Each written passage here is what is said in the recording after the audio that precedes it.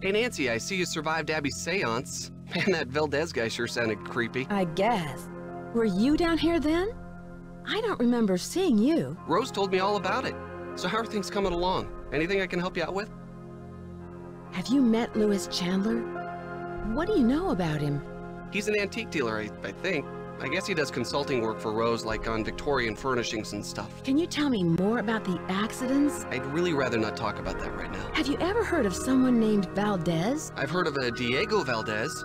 He was a wealthy rancher who lived in the 1800s. Yeah, I just read a book on him for my history class. Was he from San Francisco? No, he was sort of a hermit and never married. But he was extremely generous. He gave away thousands of dollars. How do you like working for Abby? She's not bad. She can be a little weird.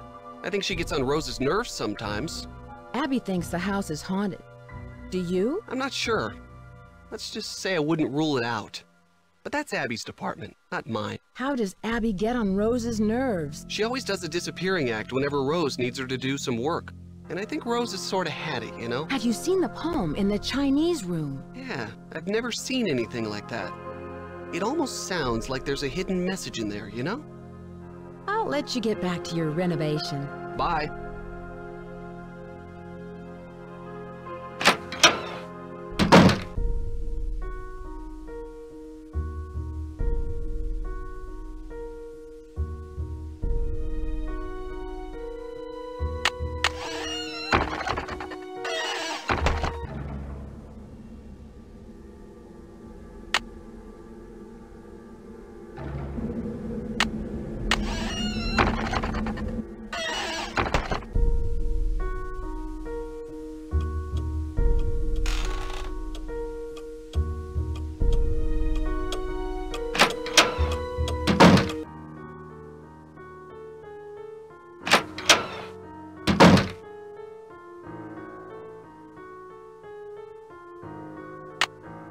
Won't fit.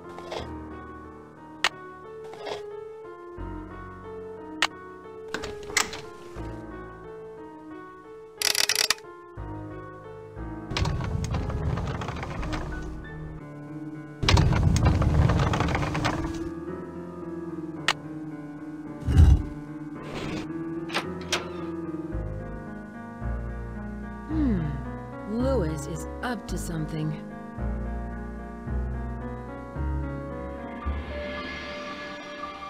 Aha! That's it! Louis, are you in there? I'll be right there.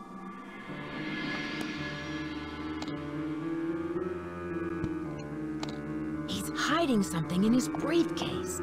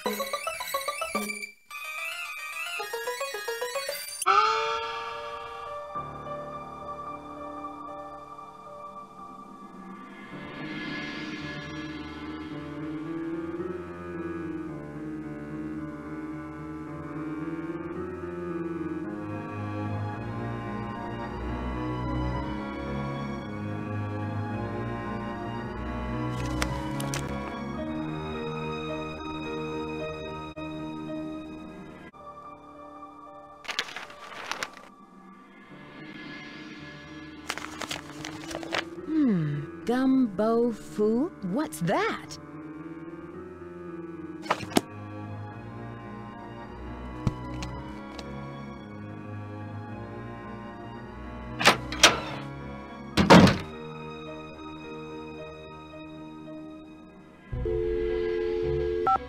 Emily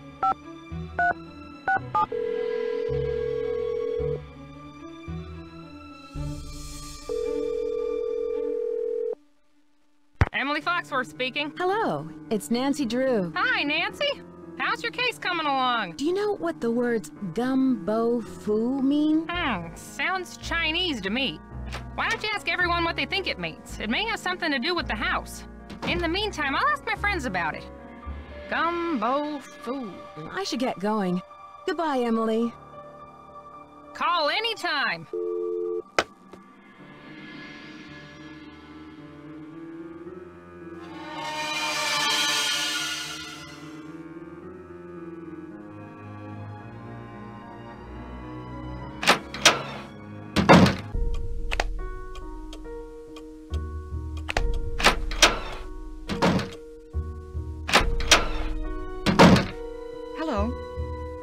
Charlie is responsible for these accidents? Abby thinks he is, but I'm not sure. I really trust in him, and I'm willing to give him the benefit of the doubt. Does Charlie live around here? He told me he just moved here from Iowa, but doesn't have a place of his own yet. He said he's staying with friends. Do you know what gumbo foo means? No, not that I can remember. I can see you're busy. I'll let you go. Don't work too hard.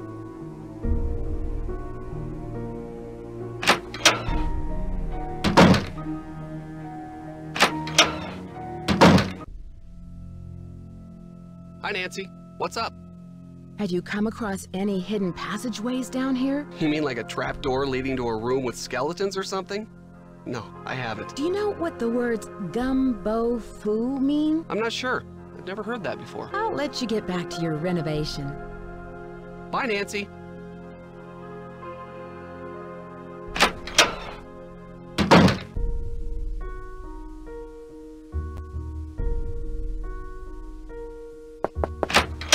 I hope you're convinced now that the spirits are with us. These ghosts are here to stay. I found out how you rigged the seance table with a projector. that was a pretty good show you gave. Okay, so I staged part of the seance. But that still doesn't mean this place isn't haunted. Seances were very popular during the Victorian era, and I plan to entertain our guests with them. It'll be a great way to promote the place. Have you been creating these accidents to help your promotion? Of course not. I've had nothing to do with these accidents. They cost us both time and money. If you want to find out who's behind the accidents, ask our resident handyman. Do you mean Charlie? Ugh, it's clear to me that Charlie's totally responsible for the accidents. Who else could it have been? He's a really nice kid, but he has no idea what he's doing. Unfortunately, Rose doesn't want to fire him. And there's something suspicious about him. What do you mean? The other day, I was down in the basement working for over an hour, and suddenly he sneaks up on me. I bet he was down there the whole time, watching me. Have you seen the poem in my room? Oh, I love that poem. Listen, my child, to this story of dreams. How does the rest go? It was there when we bought the place. Do you know much about Louis? It must be great having your own expert on Victorians. He owns Chandler Interiors, a very reputable antique store. I'm sure his clients will be quite interested in our bed and breakfast once they hear about our resident ghost. How long have you known Rose? A couple of years. She has good business sense, but I think she needs to think more about advertising. Otherwise, we're just like all the other B&Bs in this town, and believe me, there's plenty of them. I heard someone crying in the hallway. Was that you? I told you the spirits were interested in you. Was it a woman crying? Yes, it was. How did you know? It must be one of our phantom residents. Do you know who this phantom could be? Well, it wasn't me crying out there. Did the house come with a lot of furniture? There were a lot of pieces and knickknacks left behind, like the books in the study, your bed. I think it was too large to take out of the room. Do you know what gumbo foo means? Gumbo foo? I love gumbo. What kind of gumbo is gumbo foo? I'll let you get back to what you were doing. Bye-bye.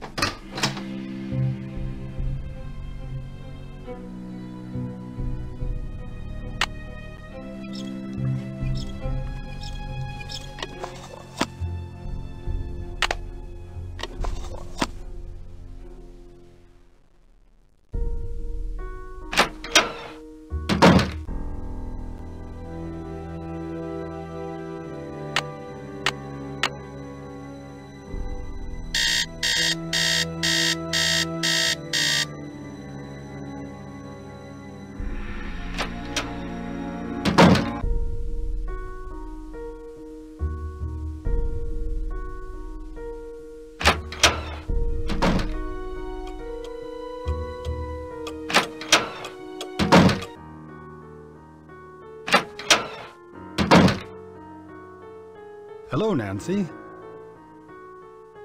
I was wondering whether you knew anything about someone named E. Valdez. E. Valdez. No, I've never heard of that name. But I'll jot it down and let you know if I come across it anywhere. What kind of antique store do you own? It's a gallery, not a store. and it's called Chandler Interiors, specializing in the Victorian period. I have clients from all over the world, and if I don't have what they're looking for, I find it. Was this house once a hotel? That's hard to say. The house has been renovated many times, but several of its original features, such as the saloon and staircase, seem to indicate that it may have been a hotel. Unfortunately, there are no records on this house before 1906. Do you know who Lizzie Applegate was? Yes, I certainly do. She was a very popular actress in the late 1800s. She was very generous and left all of her money to the Ladies' Protection Society, What was the Ladies' Protection Society? a popular charity in the early 1900s. They helped widows and orphans. Have you seen the poem in my room? Oh, that one. Yes, it's just some cheap Chinatown souvenir. Do you know what a phoenix is? Yes, it's a mythical bird-like creature that builds a nest every 500 years and then sets itself on fire to rise forth reborn from its ashes. It's a very popular symbol in the Bay Area.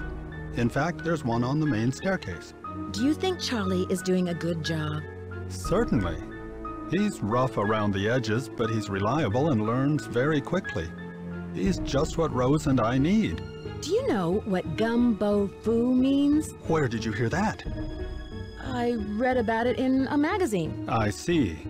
As I recall, it means House of Great Books. After the Great Earthquake, many books and documents were stored in private homes to save them from the fires. The Chinese called those houses Gumbo Fu. I won't keep you any longer. Good day.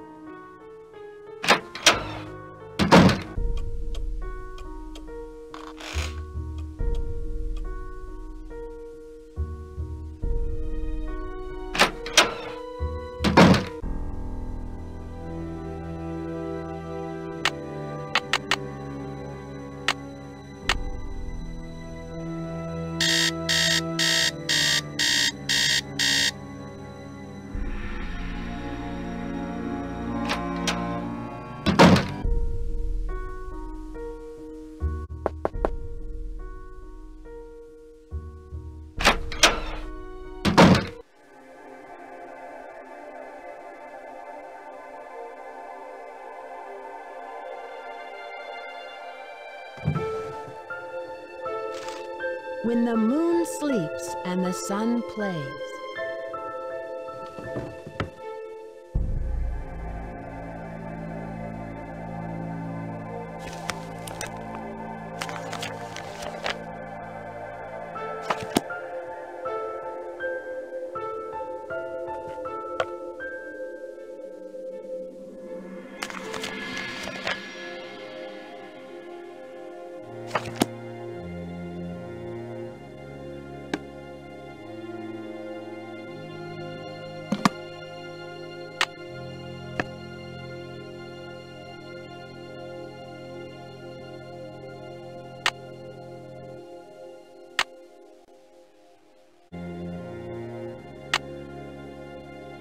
Who has called me forth from the great beyond?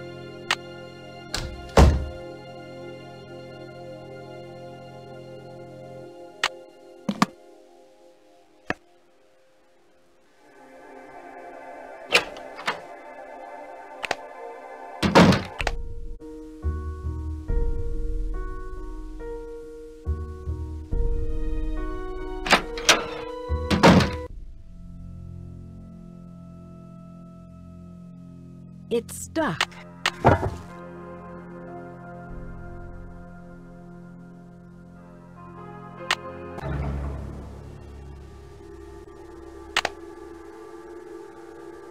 The king of the sky will shine his ray